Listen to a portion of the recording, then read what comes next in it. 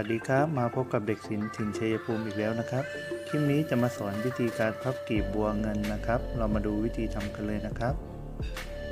ขั้นตอนแรกครับฉีกใบตองกว้าง 1 นิ้วครึ่งนะครับ แล้วตัดให้ได้ความยาว 4 นิ้วครับ จากนั้นพับครึ่งนะครับ เพื่อหาจุดกึ่งกลางครับ ใช้นิ้วหัวแม่มือกดลงไปให้เป็นรอยนะครับ จากนั้นพับด้านซ้ายเฉียงเข้ามาครับ สังเกตว่าสันใบตองฝั่งทางด้านซ้ายมือจะมาชนกับฝั่งด้านขวามือพอดีนะครับพับด้านขวาเฉียงเข้ามาครับ นี้นะครับแล้วกดลงไปให้เป็นรอยนะครับ จากนั้นครับพับริมฝั่งทางด้านขวามือนะครับพับมาหนึ่งครั้งครับพับเข้ามาอีกหนึ่งครั้งครับ เป็นสองครั้งนะครับ